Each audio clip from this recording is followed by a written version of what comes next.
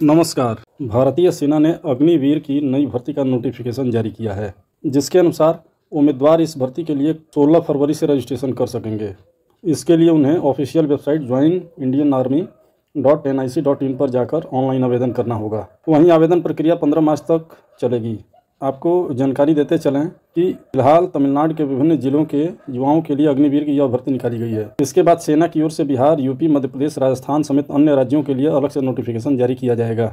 सेना की ओर से जारी नोटिफिकेशन के अनुसार अग्निवीर भर्ती के माध्यम से Agniveer general duty technical clerk storekeeper tradesman के पद भरे जाएँगे। अग्निवीर जनरल ड्यूटी के लिए पैंतालीस फ़ीसदी अंकों के साथ दसवीं पास होना ज़रूरी है। अग्निवीर टेक्निकल के लिए फिजिक्स, केमिस्ट्री, मैथ्स के साथ बारहवीं पास तथा या पचास फ़ीसदी अंकों के साथ दसवीं पास और आईटीआई से दो साल की टेक ट्रेनिंग आवश्यक है।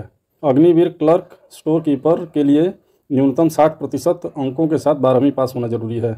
अग्निवीर ट्रेड्समैन के लिए दसवीं पास ज़रूरी है।